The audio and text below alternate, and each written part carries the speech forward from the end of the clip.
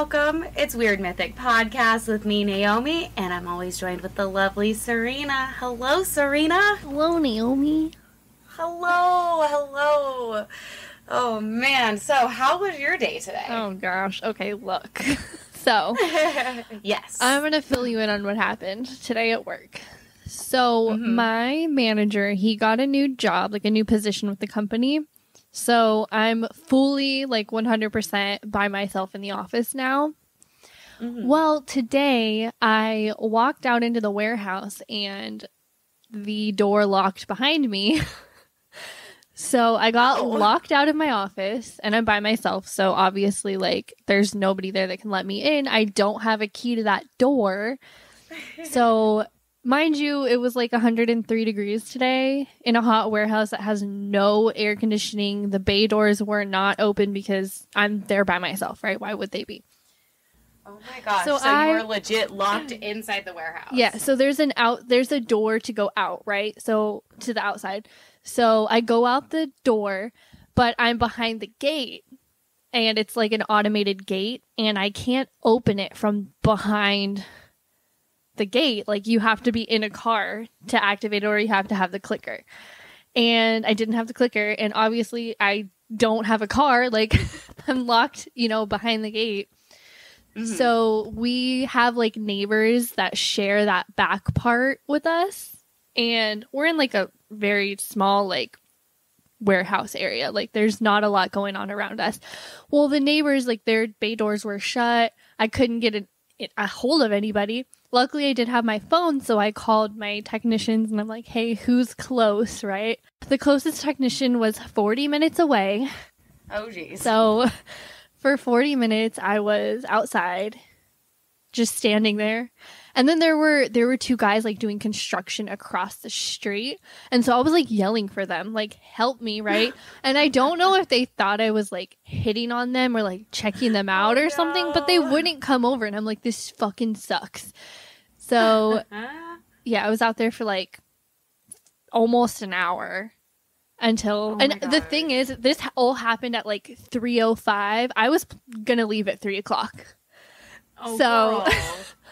i'm like this sucks. really bad so eventually I, I did get there i tried to climb the gate too and it, it's like one of those iron pokey ones so that didn't turn out too well but yeah it, it was an adventure for sure well, I'm glad that you're okay. That really sucks that you were locked inside a freaking warehouse when it's way too hot for Yeah. any of that shit.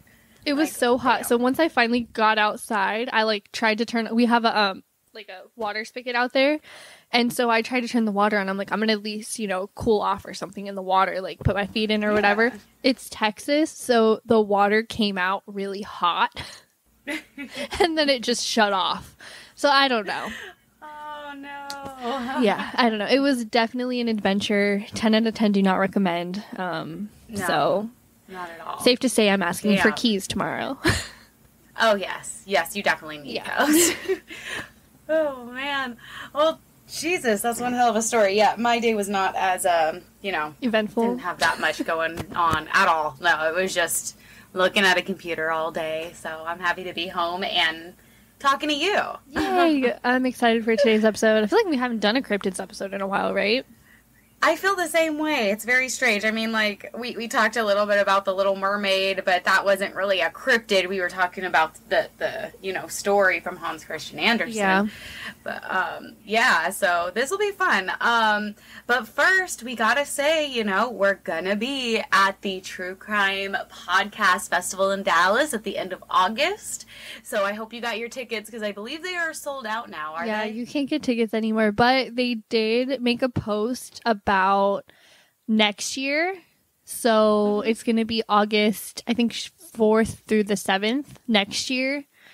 So Great. keep an eye out. It's going to be in a different city, though. So we're going to have to find out where it is. And then we're going to have to go to that one, too. I'm hoping it's in California so then I can fly out to you.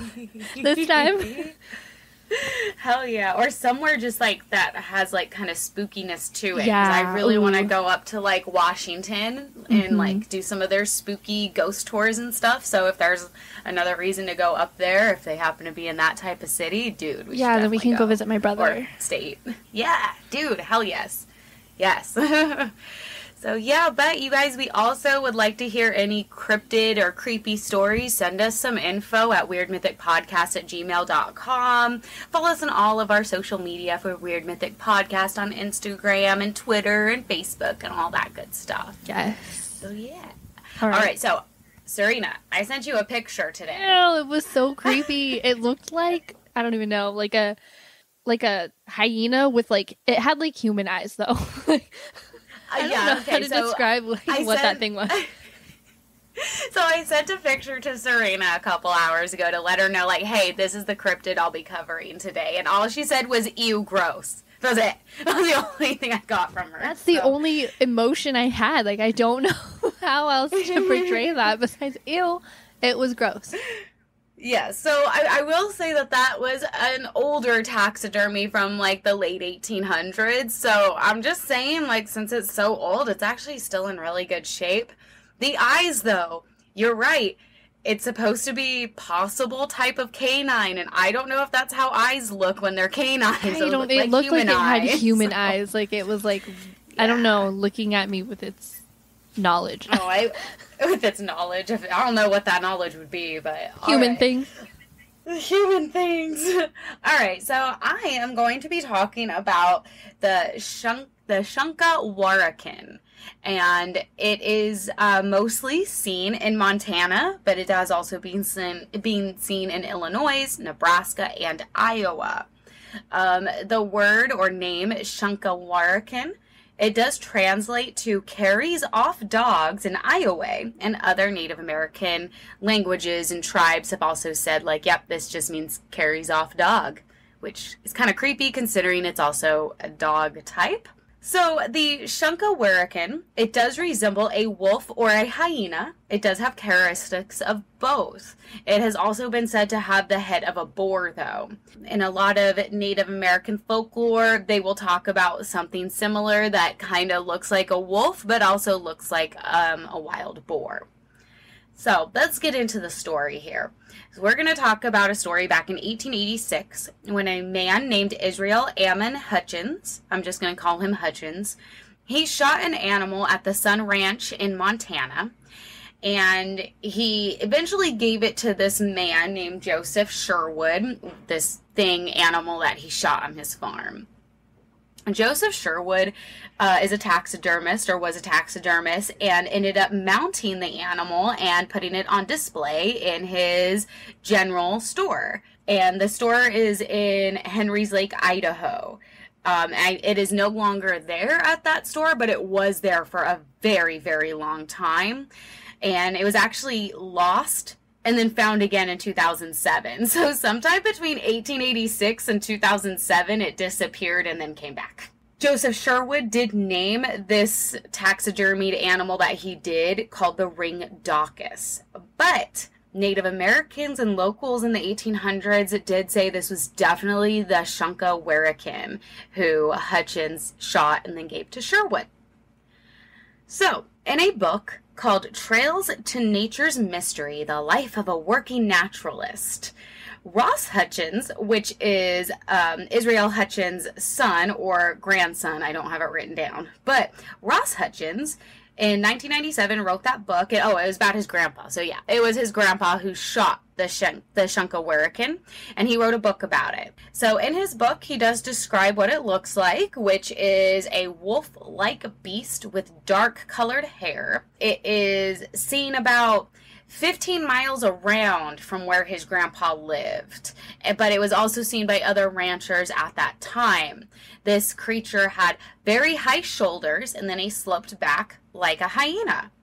His grandpa, Israel, uh, was one of was the guy who shot it, of course, and um, gave it to Joseph Sherwood in 1886. But there was also claims that this thing, this hyena hybrid, the Shunka Warakin, cried like a human when it was injured. So that was probably the most creepy thing that I found of like there's always some sort of weird thing that the creature does or some noise that it makes, but it cries like a human really creeped me out. Yeah, I hate that.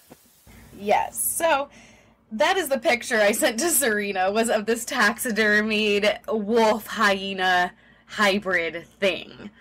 Um, but in December of 2005, all the way up to November in 2006, in Macomb, Montana, there was a wolf, and I'm going to put wolf in quotes because it never directly said wolf. It said wolf dog creature in a lot of like the articles I was reading.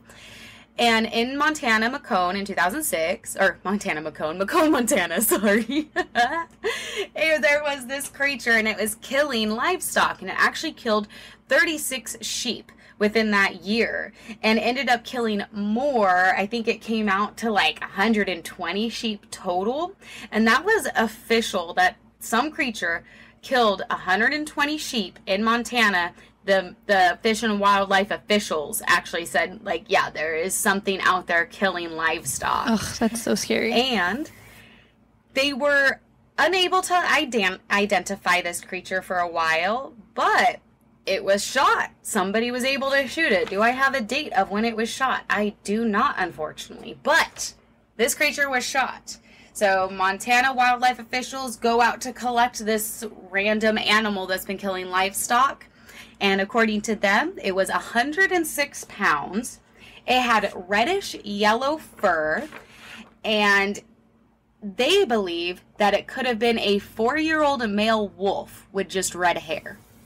However, the back was still sloped, and from reports of the person who shot it, it was like very much red and yellow. It wasn't just a reddish tint to this fur, it was definitely a red and yellow fur on this dog like creature. Okay.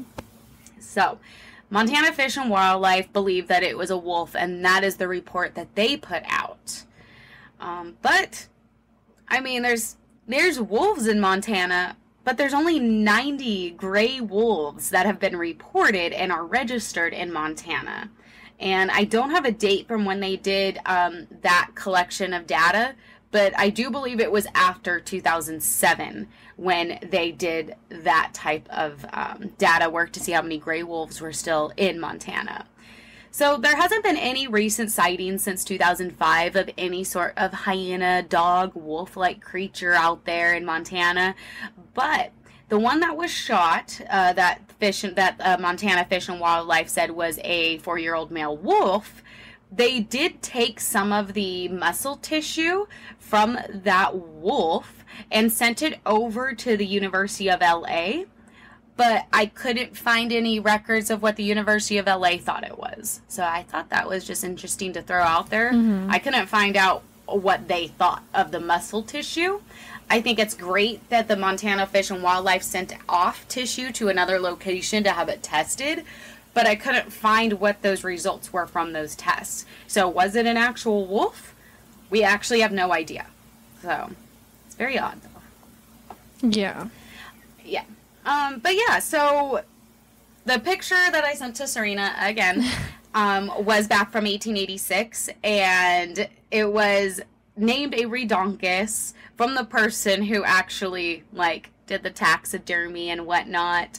A lot of people are actually thinking this is something related to the Ozark Howler, which we talked about. And if you remember from that episode, the picture that I posted on our Instagram of that little dog creature with the horns, it also had a sloped hind quarters. I mean, I think it's very interesting that people were making that connection, which I think is really cool considering we we have covered that. Yeah. And I believe the Ozark Howler has a very odd scream when it is being attacked Yeah. or I being think that was why it was called so- that. Exactly. So I did a little bit more research on what this creature could be, considering it doesn't seem like there's a pack of them, but there are sightings around. So in North America, about one to three million years ago, there was a North American hyena. I had no idea that there were hyenas in North America. I didn't either. So that was pretty cool to find out. They have been very much extinct, but who's to say that there isn't something out there that still has like that recessive gene to having that North American hyena on any of the wolves that are currently in Montana? Um, there was also a bear dog. Um, and it looked more like a dog than a bear to me on the pictures I was seeing, like, you know, rent, like, you know, um, when scientists are like, this is what a dinosaur could look like, and they have this picture of it, but we obviously have no idea what they look Mhm. like. Um, but yeah, there was also a bear dog in North um, America, mainly in the California region, and it was here about 8 million years ago. So, I mean, who's to say there isn't some sort of creature, recessive gene? Maybe it's coming back out. Who knows? I just thought it was really interesting that something was shot in 2005, 2006 that they say was a wolf, but then they sent off tissue to have it tested. And the fact that even in the 18, late 1800s that there was this thing that they also shot and had taxidermied and it does not look like a wolf at all. So that is they this that is the Shunka Warakin in Montana. So yeah, That's creepy. very creepy. I thought, I just thought it was way interesting, and there's not too many cryptids that we come across that we have an actual taxidermied something that is legit. This is legit. Yeah. Like they, it is real. So I just thought that was really cool. I had to mention it. So yeah, that was the picture I Disgusting. sent you. I just think it's great that it's still around. Like um, the the guy who had it uh, taxidermied, the the guy who had it shot, Hutchins, his family still has it. Oh, so I think it's great that it just stays in the family, and they have this weird taxidermied cryptid in their house that they'll just pass along. Passed down to- to generation. yeah, I think it's great. So yeah, That's funny. yeah. So, all right. Well, I do have another story because that was kind of quick. So, if you want to get into another interesting story, we got Do some it. time. What do you think? Yeah. All right. Cool, cool, cool. All right. So, this is a little different. It is I don't I don't know if it's considered exactly a cryptid or just something creepy um, whenever you look up like cryptids in California, you might come across something called the Dark Watchers. It's not a creature like the Shunkawarakin or like the Ozark Howler or shapeshifters or anything like that. Um, but it is something that has been seen since the 17, actually no, even since the 1500s. Now I'm looking at my notes again. So let me just set the scene for you. So, California, the sun is setting, and you're walking along the Santa Lucia Mountains, which is kind of in like the Carmel area down to San Luis Obispo. Okay. So you're out there walking along the mountains. You can see the ocean because it's just mountains, cliff, ocean. It's very pretty.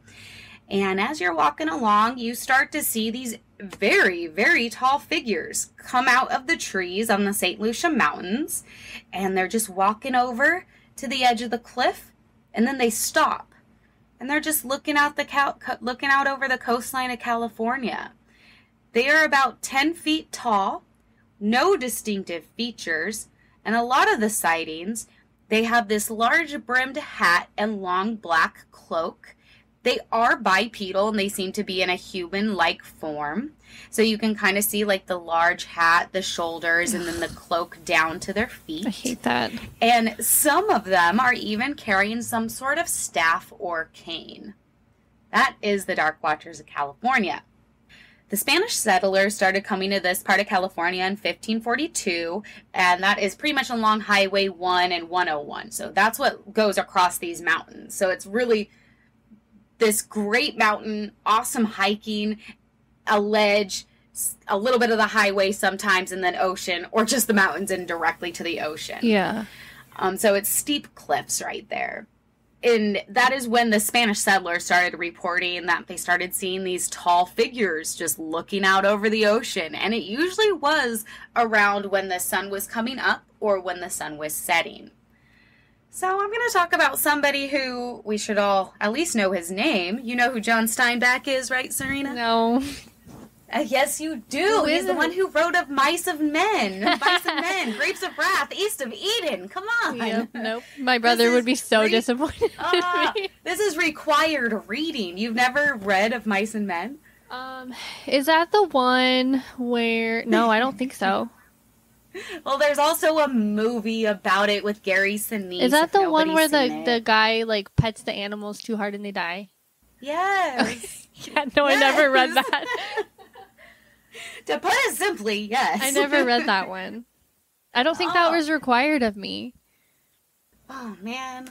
Well, I, I took I took. AP composition and AP literature and I never read that. I was reading like the Bible and stuff. Oh, huh. My AP classes and UP classes were much different. yeah, we we were doing like we did like the Bible, we read um Heart of Darkness. Like there was a lot of good books that we did read, but that was not one of them. All right. Well, I thought it was required, but I am wrong. I mean, we had a very different uh school Yeah, different system in. Hawaii, Yeah. so I'm sure. Yeah, true, true. Okay, so John Steinbeck. He grew up in Salinas, California. He was born in 1902. He did sadly pass away in 1968. Um, I do have a note here. He was a lifelong smoker, guys, so keep that in mind. Don't smoke so much. at all. Anyways, eh, so in one of his short stories called Flight, which was published in 1938, Steinbeck actually mentions the Dark Watchers directly. So in this story, Flight, it is based in Monterey and around a family, the Torres family. And something about the Torres family, there's lots of kids, but one of the sons actually ends up murdering someone. So the mom of that son tells him to run off, go, go into the mountains and try to hide from the law. So they're trying to protect him. I don't remember why he killed somebody. I didn't I don't I don't remember why, but he killed someone. They told him to take off. The mom tells him as he's running away, quote, "When you come to the high mountains, if you see any dark watching men, do not go near them, do not speak to them." Unquote. Say less. Like- Say less. All you need to know, don't talk to them. Fucking noted. I will avoid men at all costs. Trust me. Any dark watching men we will avoid. Just men, but yeah. So later on in the story, the son does say again that he saw a black figure for a moment. And then he quickly looked at it where he saw the figure, and it was one of the Dark Watchers. So, that is a direct, you know, mention of the Dark Watchers and, you know, Steinbeck's short story. And one of the reasons he does mention the Dark Watchers turns out that his mother, that grew up in the Monterey area, told him about the Dark Watchers. And according to her, when she was a girl and she was walking to school, she would actually bring food to one of the, you know, areas that she was walking by on her way. And she left it there as an offering to the Dark Watchers. And every time she would come back on her way back from school, there would be a flower in place of where the food was. I just think that's so cool. Okay. I love it. I love it. So, another story and another um, mention of the Steinbeck. So, uh, John's son, Thomas Steinbeck, who was also a writer, he also wrote about the Dark Watchers in some of his short stories. So I just think that's great that the Steinbecks have this thing with the Dark Watchers, and I just think that's really interesting. Mm. So there's also mention of the Dark Watchers in some poems. So there's this other poet, his name is Robinson Jeffers, and he does mention the the Dark Watchers in some of his poems, but I found another poem and it is called Such Counsels You Gave to Me. And in this poem, it is about a man who is going through the mountains and quote, he thought it might be one of the watchers who are often seen in this length of coastal range, forms that look human to human eyes, but certainly are not human. They come from behind the ridges to watch. He was not surprised when the figures turned towards him and a in the quiet twilight showed on his face. Then it melted and merged into shadows beyond it. more stuff on poems in California and the Dark Watchers, and I believe that poem was actually written in the 30s. Wow. Wow. So, if you look up California Dark Watchers, you're gonna have a whole bunch of stuff come up of regular, everyday people saying, Yes, I saw them. Yeah, I was hiking that mountain range and I saw them. I saw them when I was walking. I saw them when I was driving. The sun was setting and I saw these big figures on the side of the mountain. What are they doing? So you're going to find a lot of that. So I decided to do a little bit of research to see if there was anything I could find on Native American lore in that area.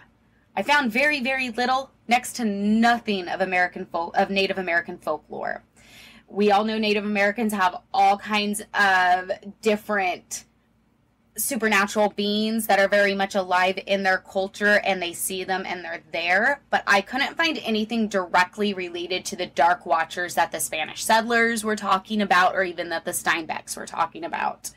But what I did find was in the uh, Chumash tribe, they have some cave paintings in um, that area of California. I really wish I had. Ex- oh, here it is. In the Burro Flats in Southern California, there's some uh, paintings, cave paintings from the Chumash tribe.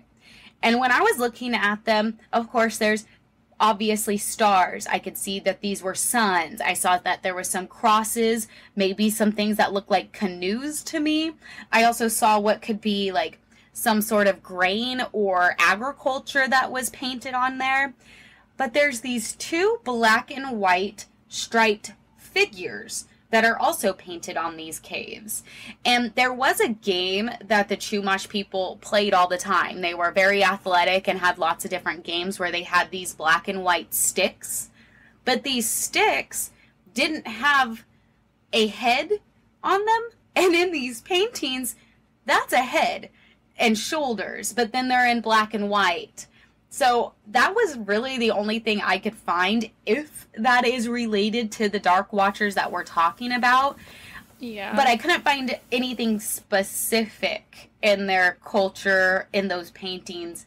But it did just look a little odd when I was looking at them that these sticks had heads on them and they were very like tall compared to everything else that was painted on those caves. So if anyone knows anything about the Chumash tribe, maybe I missed something, but go ahead and enlighten me. Let me know what those could be at weirdmythicpodcast at gmail.com.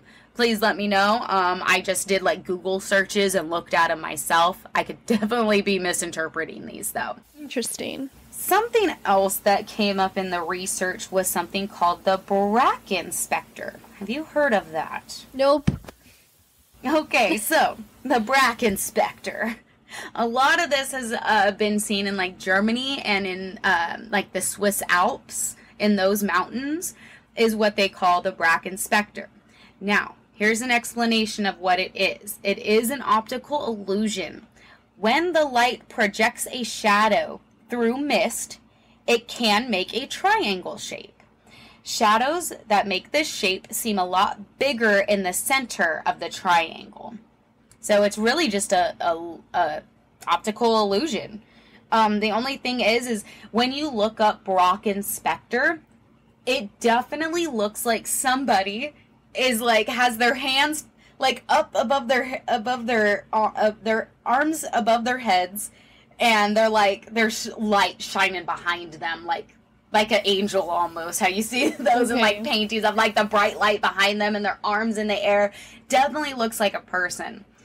I don't see the Dark Watchers having that same effect of having the light behind them and then it's they're all dark because the Brocken Spectres it definitely looks like a shadow, but you can also kind of see through the Brocken Spectre. So hmm. it's a little bit of what the explanation could be of the Dark Watchers. Yeah, I don't like that one. And, and it's just like one of those things where it, it does have a logical explanation on, on lights and playing tricks on on your eyes and we all know that if if a person sees something that they don't technically recognize your brain is gonna make a connection to something and you're gonna be like oh it's a 10 foot tall man not lights playing tricks on me, you know? So I don't know if that's where I would go first, but I guess it's just other trains of thought Yeah. and people trying to find a logical explanation for people seeing these giant figures on mountain ranges. So there was one explanation. However, I think when I was oh, because I'm not gonna think like that. I'm like, no, it's not just lights playing tricks on us. I started looking into the Hat Man, which we have kind of talked about a little bit on the show, but haven't really like dived into. If you know anything about the Hat Man, he is a shadow person and he does want to make contact with you, but usually the Hat Man appears in your bedroom and not outside. But when you look at sightings of the Hat Man, it definitely feels like the the Dark Watchers of California. Tall, dark figures in a cloak and a hat. And it's always a wide brimmed hat. I think it's an interesting connection. Mm-hmm. I, I don't know. I don't know, man. Oh no, man. That is the Dark Watchers of California. I also found like some other stuff about that area that of course there's been Bigfoot sightings in those oh areas. gosh, you know how many Bigfoot things I came across doing research? Like everything, everything was Bigfoot. Like the, today, especially, I was trying to do some research on my downtime. What little Mm-hmm. downtime I did have, and everything was like, "This is Bigfoot. This is Bigfoot." I'm like, "We can't do that. Like, we can't do that yet." not yet, not yet. Um, but there has also been nuclear testing back in like the 20s and 30s in that area. So people talk about maybe there's some nuclear people over there. Who knows? Nuclear people. yeah. So um, it, it's just like random things you come across when you do research on random things like the Dark Watchers of California, people started talking about how Aleister Crowley had something to do with it. That L. Ron Hubbard had something to do God. with it also. And I'm like, what are you talking about? but I mean, like, it could, it, they went into like details of Bohemian Grove Yeah. and how Death Valley and that the Devil's Punch Bowl is nearby and all kinds of other conspiracy theories about what the Dark Watchers could actually be. So I would very much like somebody's opinion, especially somebody who has seen these or has done more research than I have, because there was just so much coming at me after doing that research on them. Yeah. So those are the Dark Watchers of California. I would really like to see them at some point, considering I've been through that area more than once. Haven't seen shit. I want to see that. I think I'm good. No, I want to see it because they don't seem like so. The Hat Man, he comes into your room and he usually deals with people who ex- uh, very much experience sleep paralysis. Yeah. And he seems a little mean. Like he'll shake your bed and wake you up and shit. The Dark Watchers don't have that maliciousness to them. I feel like they really are just watching over the California coastline. So I want to see how close I could get to them. Yeah, I don't know. I'm good. You're You good. go ahead. I'll, let you know. Yeah. I'll go figure it out. but yeah, again, guys, let me know what you think about the Dark Watchers of California. If you're in Montana, let me know about the uh, Shunka Warakin at weirdmythicpodcast at gmail.com. Yeah, also, we hope to see you guys at the True Crime Podcast Festival in Dallas. If you didn't get your tickets, it's okay. We are going to be doing a Spotify live episode, so you can be sure to catch that. We're going to be, it's August 27th at, ooh, what time are we? 10.30, I 10.30, think. I I think. we were at 10.30. We have it on all of our social media, so I think it's at 10:30 in the morning. So hopefully you guys wake up to catch that whatever time zone you're in. Yeah. Um, follow us on Twitter at Weird Mythic. Hit us up on Facebook at Weird Mythic Podcast, as well as Instagram at Weird Mythic Podcast. And please, please, please send us any recommendations or sightings or anything you guys want to hear us talk about at Weird Mythic Podcast at gmail.com. Yes, yes. And again, thanks for tuning in, and we'll have another episode coming out soon, guys. Yay! Bye.